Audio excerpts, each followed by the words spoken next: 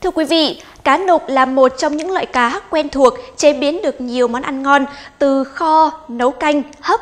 Đặc biệt hơn, cá nục một nắng còn thơm ngon, săn chắc, có độ dai và ngon ngọt hơn nữa.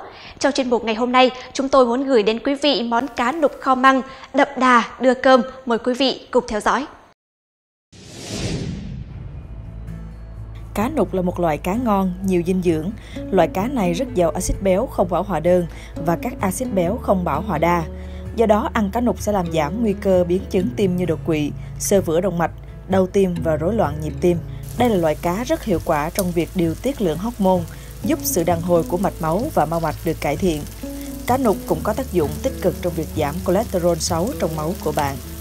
Nhiều nghiên cứu còn chỉ ra rằng omega 3 có trong cá, đặc biệt là cá biển như cá nục có tác dụng làm giảm viêm nhiễm và chứng đau khớp ở người.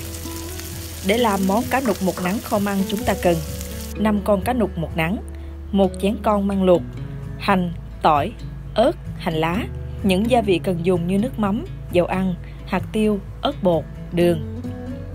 Cách làm món cá nục một nắng kho măng như sau. Cá nục một nắng bạn rửa sạch, ngâm với nước cho bớt vị mặn, sau đó để ráo. Phần măng bạn rửa sạch, chẻ nhỏ vừa ăn.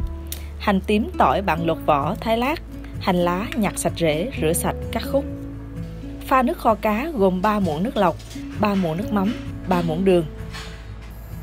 Bắt chảo lên bếp, cho dầu vào đun nóng rồi cho cá vào chảo rán sơ qua.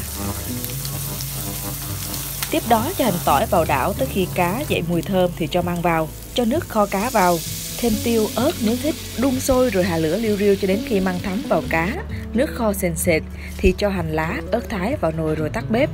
Xếp cá và măng ra đĩa, rắc thêm một ít tiêu cho thơm. Thế là đã hoàn thành xong món ăn này rồi. Chúc các bạn thành công với món cá nục một nắng kho măng này nhé.